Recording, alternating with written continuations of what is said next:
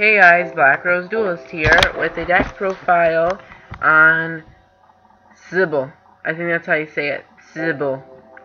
Um, if you watch ARC-V, or Arc 5, however I want to say it, um, I'm to move around. It's a little too bright. Um, it's basically that, you know, redheaded, curly hair little girl that's, like, obsessed with Yuya? This is her deck, and they just added some of the cards, four cards from the deck, five, actually, to Dev Pro. Uh, they added two monsters, effect monsters, the ritual, the ritual spell, and this trap that's meh. Um, I'm gonna go through the deck real quick, and then I'll tell you guys what everything does. Cephalon, Dark Lord Desire, Metaion, Triple Kristya, Triple Manju, Triple Arrow Sylph, One Djinn Releaser of the Rituals, Triple Coin Nama, One Night Assailant, Double Skelligal, Double Magician of Faith, Triple Tarot Tray, the Sibylla, One Raigeki, One Book of Taiyu, Triple Ritual of the Sibylla, Double MST, One Book of Moon, Triple Book of Eclipse, Double Glare of the Cat, Black Cat, Double Scales, One Solemn Warning, and then whatever you want to put in the extract that's like rank 4, rank 3, rank 2, rank 1, it doesn't really matter. You go in there maybe once every 5 duels.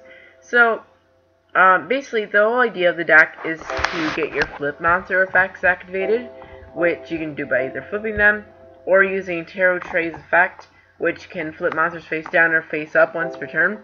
At the end phase, you can uh, set one monster from your graveyard, special summon it, and set it face down.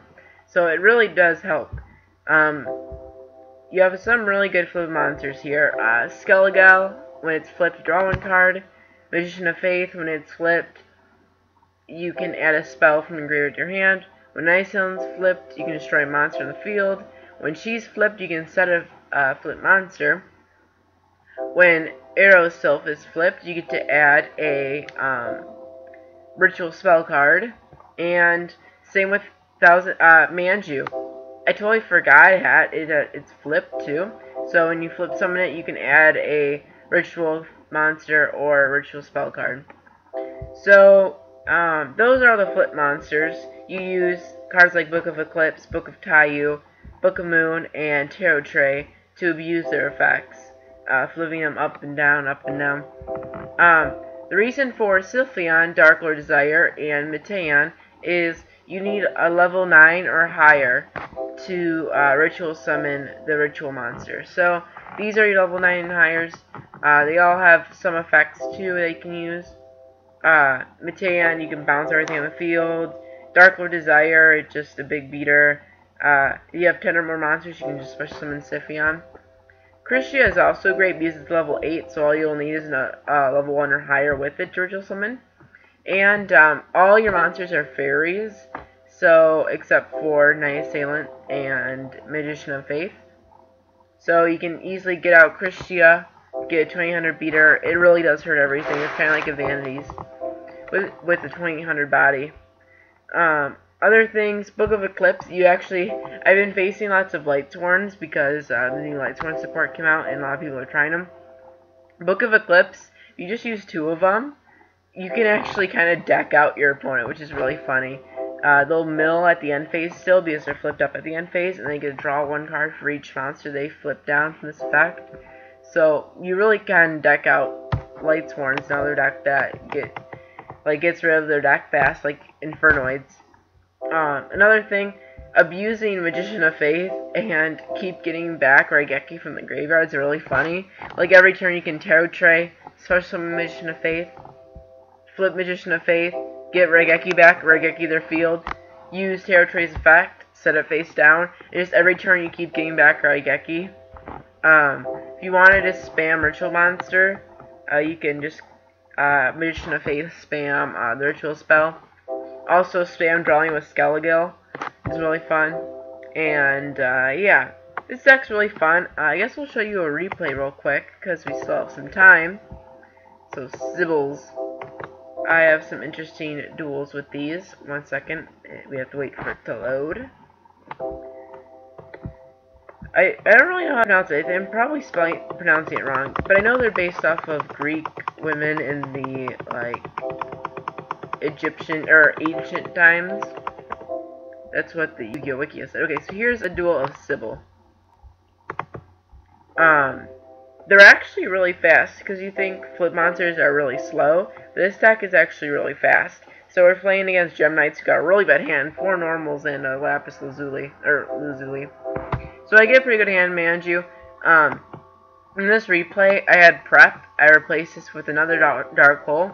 Um, I noticed that Prep only searches level 7 and higher rituals, and the ritual you play is level 4. So um, in this replay, that's the only thing that you have to really notice that's different. So he just attacks over my Manju, sets his um, Air Force, which really caught me off surprise, you'll see here. I set my Skullgirl. He destroys my Solemn Skills, which makes me a little sad. Skullgirl, I get to uh, get Arrow Sylph. Uh, I draw my Ritual spell, and that makes me happy. I get to send the Metaion to play Tarot Tray. He goes Air, uh, Air Force, and this is where I can uh, really use, um, I'll move myself right here. I can really use Tarot Tray's effect to flip him face down, and then it won't go back to my hand, because you need it, it brings back attack monsters. But it, they can just run over it anyways, so it makes me a little angry. But the good thing now is we're clear for an Archlord Kristya play, with, which really paralyzes the Gem Knights. So we get to bring back the Ritual Monster to our hand. Um, the ritual spell has a second effect where you can banish it to add a uh, Siliph. So I set this one that gets a ritual spell, and I basically just waste his resources. He goes for one day of peace, which overall just helps me more in the advantage part of the duel. I get Solemn Warning, which really helps because he can't special summon, and whenever he does summon, I can just play Solemn Warning. I set up all my flip monsters for, for whenever he gets rid of Kristya, or when I get rid of Kristya, I can just go off. So I get Magician of Faith, and I'm really getting ready for the big play. I think it's next turn or the turn after. Oh yeah, it's this turn. So what I do is, I kind of forgot that he could flip up the monsters and then draw two cards. Um, but what I wanted to do is, on his end phase, so he couldn't special summon, I could get uh, Kristya face down so I can start special summoning. I get the MST, which helps, but he goes for Fragment Fusion, which makes me a little sad, but I didn't want to ruin or waste my Solemn Warning on it, so I let it go. Um, I get all my flip effects, get back my Book of I ritual summon into Tarot Tray, I get Coin Naga's effect to flip, uh, or just uh, special summon Arrow Sylph face down. I just attack over his stuff. I flip Arrow Sylph back to add back the ritual. And now I have um, Tarot Tray's effect, which will set my Skullgirl, but now he uses Gem Knight's effect to bounce back my Tarot Tray. My, I'm looking pretty good. Uh, he goes for Absorb Fusion. It gives him too much pluses, so I saw him warning that. Um, I don't know what this whole Enter Mage thing is doing in here, but it seemed interesting. I wanted to flip down all my monsters, so I played my um, Eclipse. Oh, another thing they changed, I played Lose a Turn, but I forgot Ritual Summoning. That whole ruined me, so I took that out too. Um, that was for the other Dark Hole.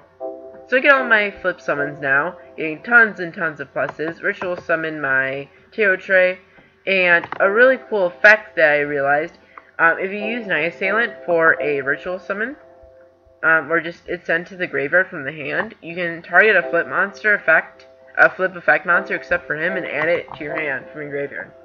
So it really did help too. Um, so I'm looking pretty good. The only problem is these two cards are kind of useless. If it was a Dark Hole or something, it'd be providing more backup. But now he goes for his Gem Knight Lady Brilliant Diamond, and I flip it face down with. Tarot Tray is really good. It's like a Book of Moon every turn. Um, now here, I really got scared. He goes to Ruby with piercing damage, and I get 2100 damage, and I'm down to 200. But I get the draw off Skullgirl, so I'm hoping I can come back. I don't know what he was really thinking here, but he went for diamond, and he has 3700, so it's pretty good. Um, now he quit for some reason. I think he just knew he lost because I have all my monsters here, and he knew I had the ritual stuff, so I could just flip him down, flip my monsters up, and then attack for game. So he quit there. Anyways, I hope you like this duel and my deck. Try it out on DevPro. It's really fun. Tell me your results. Um, this has been Black Rose Duelist with a Sibyl deck profile. Um, I'll see you guys later. See you guys later. See you guys later. I keep saying that for some reason. Bye.